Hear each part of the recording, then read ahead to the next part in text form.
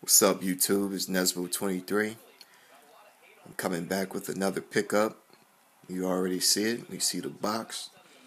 It's that LeBron Elite superhero. Um, that's what I've been hearing them called. Um, player exclusive, all kinds of names, but you know what it is. The next colorway, LeBron 10, size 11 and a half.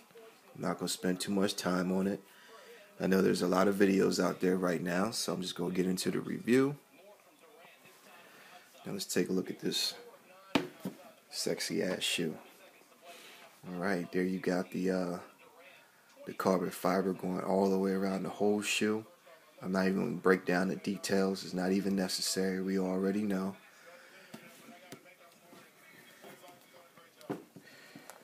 This was a limited shoe.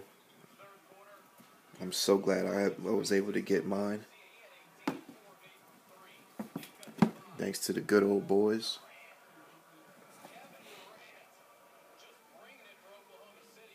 There you see the orange specks going down the shoe all the way around.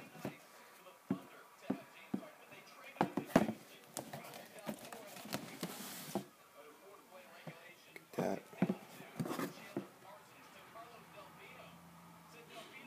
Pretty, really, really detailed shoe.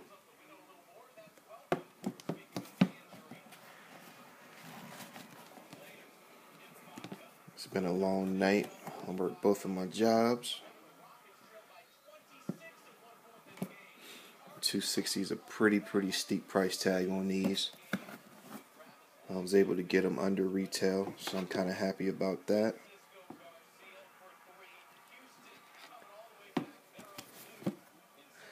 But yeah, um, shout out to everybody who's been viewing my videos.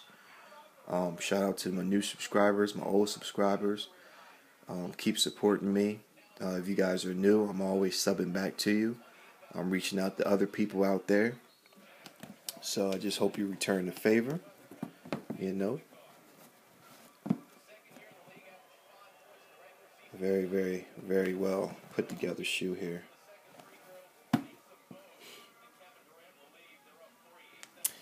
As far as LeBron 10s, I'm probably done with them. Um, I got about maybe two or three pairs, or I have like four pairs of LeBron 10s actually. In my next review, I'm going to show you guys my uh, my LeBron IDs, which I hope you guys really, really like because I put a lot of time and thought into it. Hit the like button, please. I'd appreciate it. And shout out to everyone once more. And my next review will be my LeBron IDs.